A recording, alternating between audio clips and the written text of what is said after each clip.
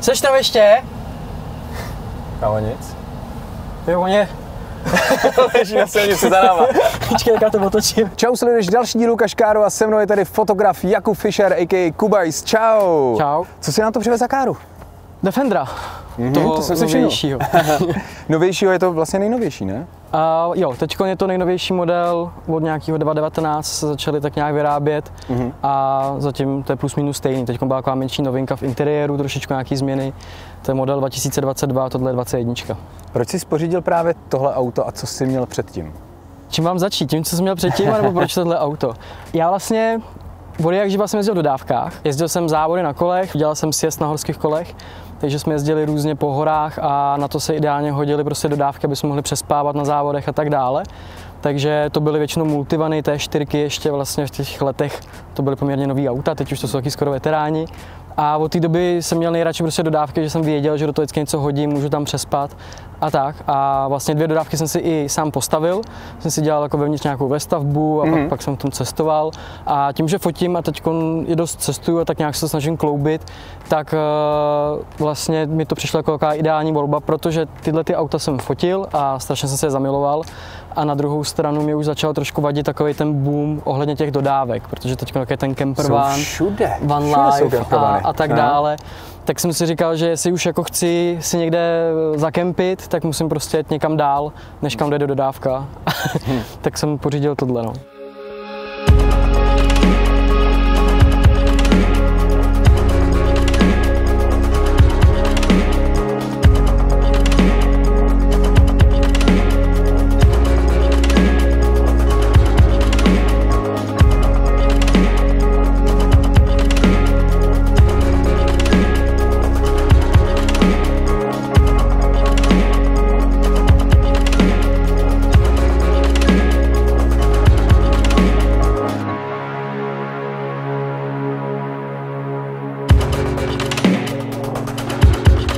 Co je pod kapotou? Tady už je řadový šestiválec, uh, nafta Mhm. a tohle je 250 označení, dělají se tři verze, 200, 250 a 300, tak tohle je ten střed. Byla to poměrně vlastně novinka teď, předtím dělali normálně V6, teď už to jsou řadový šestiválce. První tenhle ten Defender, v kterým jsem jel a který jsem fotil, tak to byla First Edition P400, což znamená, že tam je 3 litr šestiválec, benzín, 400 koní Mhm. a ten mě strašně jako bavil Nedivím se. i když jsem potom jako zkoušel si nějak vybírat, co si vlastně já vezmu, tak jsem nad tím přemýšlel, ale jak ty sám si říkal minule opice banány, tak to taky vždycky rád říkám. Tak tohle je taková menší opička a ten, ten benzín už je taková gorila. Střední banány. To No, prostě. taky střední banánky, jaký ty nedozrálý, zatím žere jenom. A, a to ono, takže jako ten benzín skvělý svezení, ale tohle je pro mě jako lepší. No. Hmm. Jaký má výkon vůbec? 250 koní a přes nějakých 500 Nm, Hmm. takže to je jako dostačující. On to sice váží 2,5 tuny, ale dá se s tím jezdit poměrně příjemně a když potřebuju předjet nebo něco, tak předjedu. Hmm. Je to taky vysoký samozřejmě, takže aerodynamika není úplně kamarád spotřeby, ale zajímalo by mě zhruba, jak to. Hele, jako když jedu ve Švédsku, v Norsku, kde se jezdí pomalu, tak jsem třeba na 9 litrech Mhm. a u nás je to spíš tak 10-11. No. Hmm. Jako těžko se mi dostává pod 10.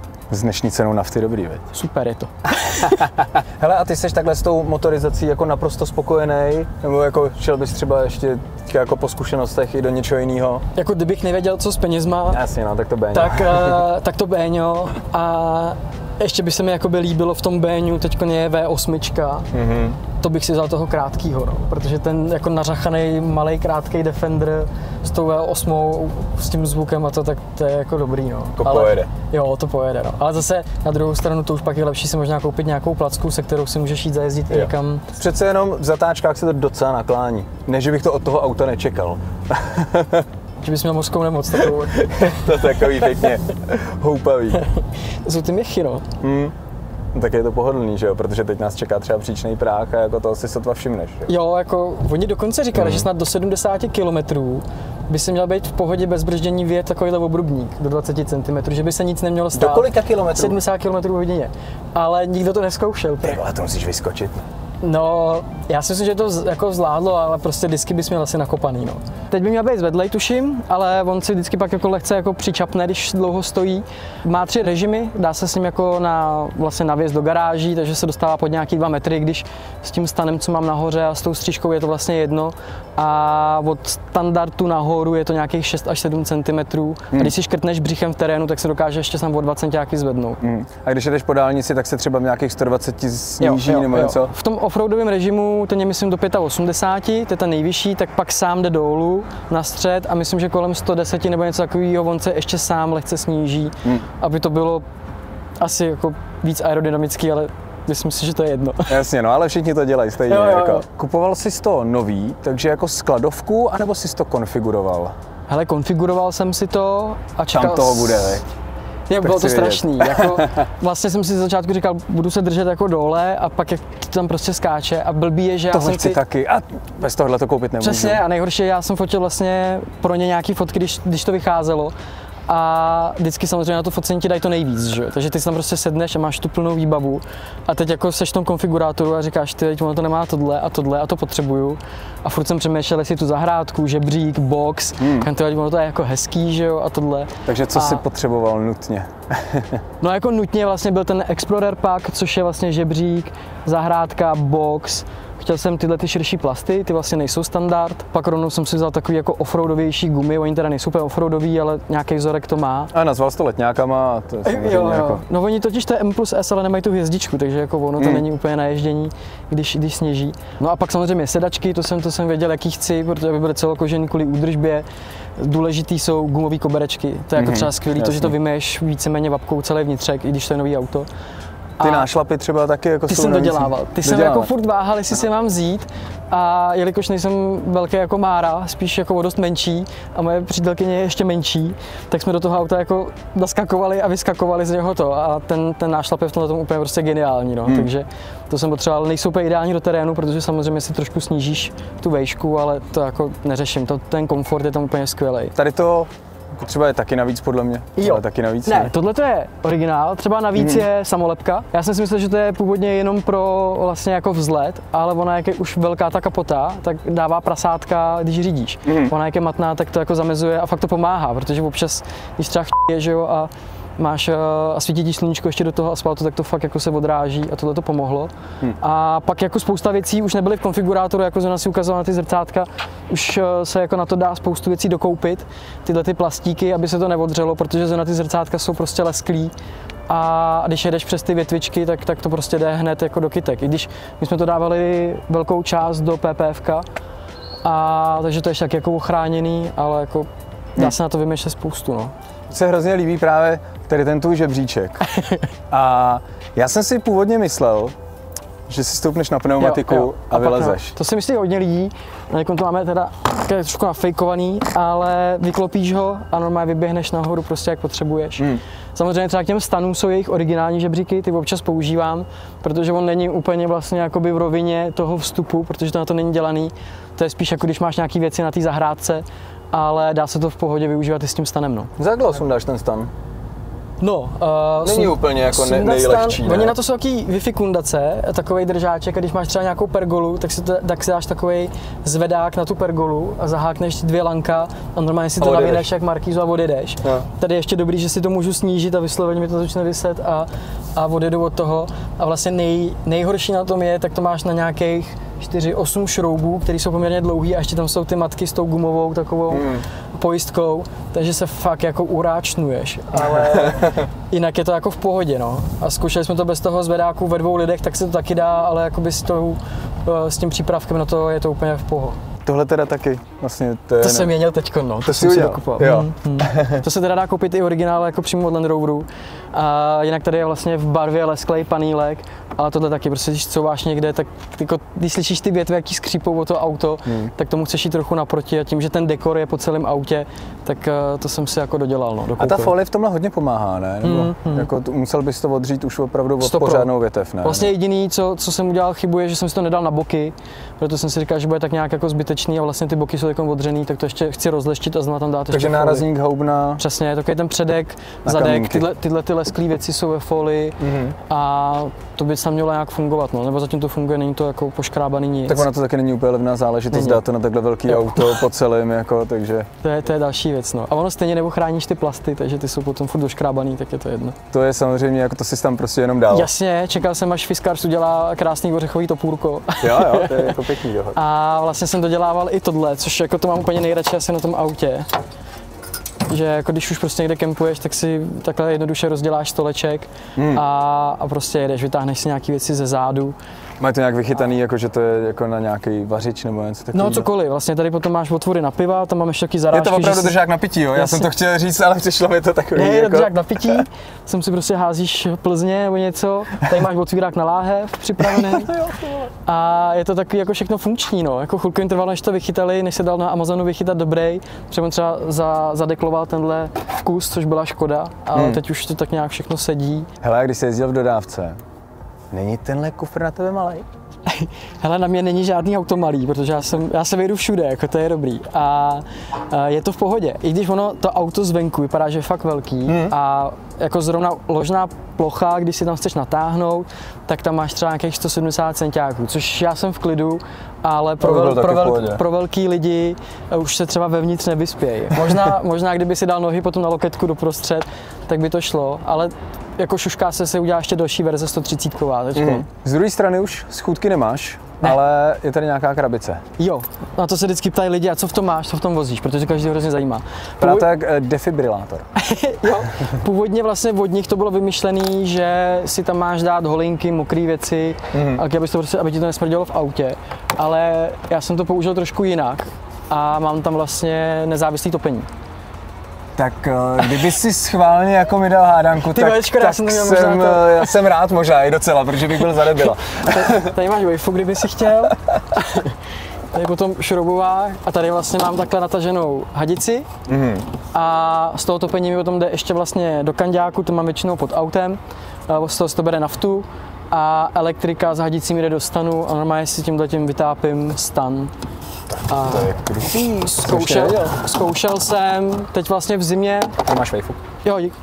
Eh, v zimě jsem byl kempovat a bylo nějakých minus 10 a nahoře jsem měl 18 stupňů ve stanu. Celou noc to topilo. Já jsem koukal, fotíš auta, motorky, ale jsou třeba i nějaký kampaně, billboardy, něco, co jsme mohli vidět, co jsi fotil? Jasně, kromě produktů fotím i sport, byl jsem třeba na Dakaru fotit, Mhm. a potom fotím různé motorky, fotil jsem Indiány, Bavoráky. Koho jsi fotil na Dakaru? Byl jsi tam? A s Mariánem Chytkou, ten co tam jezdí už, to- letos tam byl desátý nebo jedenáctý rok, Mhm. takže to bylo v roce 2020, myslím, dva roky zpátky. No, Mhm.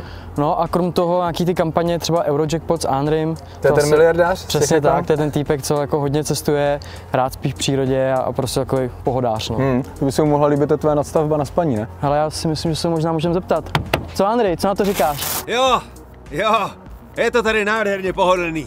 S tímhle vozítkem se skvěle cestuje po světě. No, nebudu vás rušit, pánové. Díky. Tak asi dobrý. Jo, myslím, že v pohodě.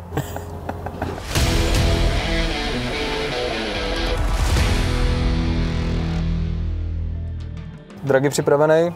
Můžeš kdykoliv. Dobře jsi to nafouknul. Byli jsme tam. 3.06? Yes. V pořádku. My jsme zapomněli. Seš tam ještě? Kámo nic. Jo, oni. Leží na silnici za náma. Počkej, jak já to otočím.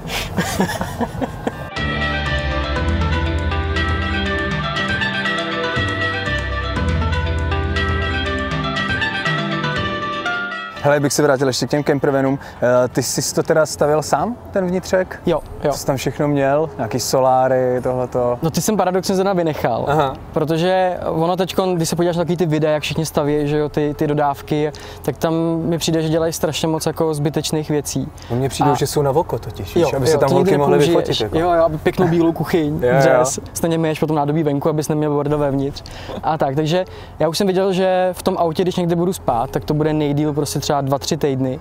Ale spíš ne, spíš jezdím vždycky na dva, tři dny, nebo spíš dvě noci a kvůli tomu nepotřebuju prostě tam mít kuchyň, nějakýhle hmm. prostě ptákoviny, tak jsem hlavně třeba hlavně postel, trošku nějakou izolaci. Samozřejmě jsem si předělával elektriku, aby jsem vzadu mohl prostě pracovat na počítači a tak, ale na to ti bohatě stačí takový ten převodník, který ti nabíjí z altíku zadní hmm. baterku a nepotřebuješ soláry, když s tím autem jezdíš. Yes. Protože stejně nikdy jsem nekempil někde týden, že bych to nechal na pláži a někde se koupal, to asi jako ne. Hmm. Ty si nemůžeš jen tak jako vjet do lesa, že jo, a spát tam, jako, nebo to se prostě nelíbí myslivcům a, a vůbec jako Nikomu. Tam, nikomu, přesně tak. Takže jaký jsou vlastně tady toho pravidla? Ty musíš jít do kempu, ne? Uh, samozřejmě můžeš do kempu, pak nevím, jestli můžu udělat jakoby reklamu, já jsem to nikdy nepoužil, ale vím, že to existuje bez kempu. Jo.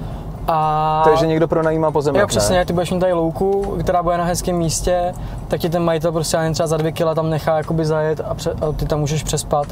Uh, a vidím v tom docela budoucnost, protože třeba konkrétně u nás už tohleto jakoby free campování není tak dost možný a právě jak jsem říkal, že byl ten boom s těmi dodávkama a tak dále, tak uh, to lidi hodně jako čekujou a, a pak ti třeba i nahlásí a prostě není to úplně ončo, no. takže hmm.